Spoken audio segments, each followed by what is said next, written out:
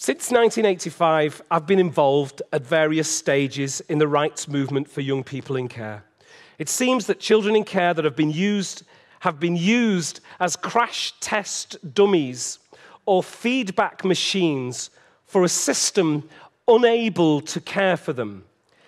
It has been crucial to maintain and develop my independence as a writer and creative. The rights movement was often funded by the government. They were lobbying. Clearly, it didn't work. And if it had, there wouldn't have been the recent Rotherham scandal, the Oxford scandal, the Rochdale scandal, the Northern Ireland scandals of, uh, with, uh, of abuse of young people who are in care. These have proven my point that children have been the crash test dummies for a distraught, dysfunctional system set to help them, a system that you could call challenging. The lack of the ability for the institution to care for the child cannot be remedied with a quick fix. An overhaul is needed. Creativity and inspiration is not the monopoly of artists. We are all born with it. It's the one element central to family. Institutions and individuals inside institutions can exercise the full benefit of creative thinking for the workers and those they serve. And what do I mean by creativity? And, and where can this make a difference? By creativity, I simply mean creative thinking, the ability to question everything for the betterment of everyone all the time.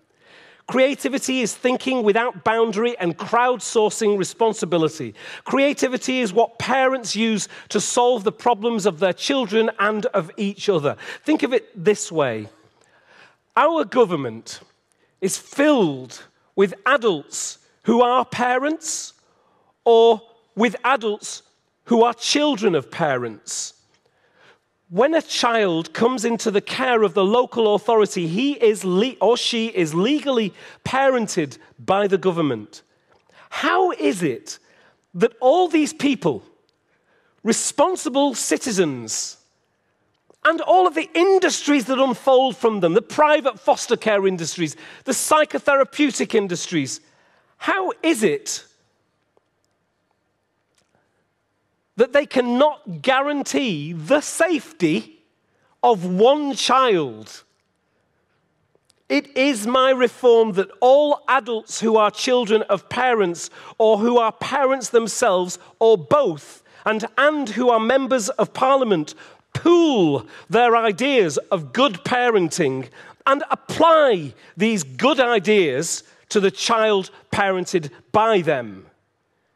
To speak more specifically about creativity and inspiration, the great books of our religions were creative works, and the great art of our religions are creative works. Creativity is the carrier of messages and story. To engage with creativity and to seek inspiration is to engage with and seek a higher power. The only responsibility our government has as a parent is to the child in care uh, sorry, the, the highest responsibility our government has is as a parent to a child in their care.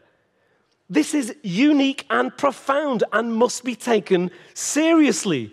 Parenthood by lip service has proven to be the breeding ground for abuse. So, to enact reform, we must examine and redress our present state of thinking about A, the child in care, and B, the child in care, and B, the institution set up to serve him or her. Just a note here, you know, there's a reason why we found it so easy to say to our children, if you're naughty, I'll put you in a children's home. Somehow we've come to think of the children's home as full of bad children. That's where abuse starts. It doesn't start with the, with the social workers and it doesn't start with the care industry. It starts with us. We're responsible for thinking of the child in care as somebody who will cause a problem, who is a problem that needs to be solved, rather than like our own children, a solution waiting to happen. It is our imaginations which have been, which have been, uh, which have been, uh, which have been restricted when it comes down to the child in care. Most family is about the power of suggestion. When are you going to go to university? Are you going? Are you, go? you don't want to go. You don't want to go to university. You don't want to go. You don't want to go. Well, there's a book over there. It's about universities. You don't have to look at it. It's just arrived. You don't have to look at the power of when you're getting married. You're getting married. You're not getting married. Oh, you don't want to get married. Oh, no. no. We were married at 22. Shall we go to your Auntie Jean's wedding? Your cousin's wedding? Shall we go? Get ourselves all done up. We'll go to the wedding. You don't want to get married. It's okay. And then when your child comes home from school and says, comes home and says, I want to go to university, you go, Yes, sir. And they go, And I've thought about this myself. You go, Yes, of course you have. The invisible power of suggestion the invisible power of suggestion held in your home. You know how important it is, and you will keep saying it and keep saying it until a penny drops or it doesn't drop. And when it doesn't drop and they don't go to university, you follow them down that path. What is the power of suggestion for the child who goes into the care system? If you do that, you know what will happen? Well, we'll move you from the foster parents for a start if you're naughty. Hey? If you're naughty, hey? There's a remand centre over there. If you're naughty, you know what? If you run away, the police will come after you. You don't want the police to come. Suddenly, the, the, the orbit around the child in care smells of bleach and is full of the power of suggestion. And I'll tell you what you must do you must never talk about your experiences in here as you grow into an adult. The power of suggestion. The amount of adults who spend their lives not telling their children that they were in care, that they were fostered, that they were adopted, as if the shame should be pushed inside of them and locked like a time bomb in the inside. If they open it, it will explode them and everybody around them. The shame is not theirs, it's ours, that we should put that onto them. So, the child in care, I've totally gone AWOL. So, to enact reform, Oh, we must examine and redress our present state of thinking about the child in care and the institutions set up to serve him or her. See, I couldn't do that if I was a lobbying group, could I? You know what I mean? Uh, let us begin with those charged with looking after this most precious asset, the next generation, the most precious asset of any society without parents who's in the children's homes, who's parented legally by the government, the highest paid individuals in local government. It's, if the most important asset to the development of society is the next generation, thus a parent if a parent will judge themselves above all on how they've done for their child, it stands to reason that the social worker acting as parent of the child on behalf of the government should be the highest paid in local authority services. Period. social work.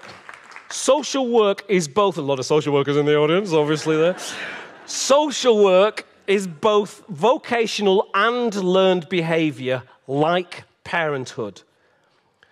There's a reason, by the way, that uh, people don't like social workers or that social workers go out and don't talk their story. They don't say, oh, I'm a social worker when they're going out and, and, and have uh, with, with friends and uh etc. Well, not with friends, but, but, but there, there's a reason. It's because, it's because and there's a reason why there's been a, an, an enacted prejudice against the child in care. And it's because family is a great PR company for itself. Um, uh, dysfunction is at the heart of all functioning families. What happens between these four walls? It's our business. You know, the, the dis- dysfunction is a, a celebration of family. It is what families are. The idea that families should not withhold dysfunction inside of them is, is, is ruinous to the PR because the PR of family is hey, we're all right. We're all right. Don't talk about my mum. Don't talk about my blah, blah, blah. Hey, in our fault, hey, you, hey, what? You, you, you, what, what? Don't talk about our family. Our family's all right. The entire idea that we should be a PR company for something that's perfect, that clearly just is not across the board, sets up a sort of. Um, a sort of a, a, quite serious dysfunction. And the reason that I believe that there has been a prejudice against the child in care is because they are living, breathing proof and acknowledgement that there is dysfunction at the heart of all good functioning families. To admit that the child in care is something brilliant is also to admit that actually, for all of us, within all of our families, so if I walked into one of your the big argument in your family, right? The thing that your granddad doesn't talk about, or your dad doesn't talk about, or your mum doesn't talk about, or you don't talk about, where, where every line was crossed, where you felt hurt and you feel like you're going to be hurt forever and you're not going to talk about it whatsoever. Let's just say that that one thing actually came up in the family, right in the front room. It was brought out into the open, and there were tears, and there was anger, and there was, you said this, and you did that. Uh, uh, uh, uh, uh. and I walked into that family at at that time, somebody should be sectioned. The kids should be put into care for a while. It's in all of us. Kids in care spend their life with people pointing at them as if they're the ones who are wrong. It's just not the case.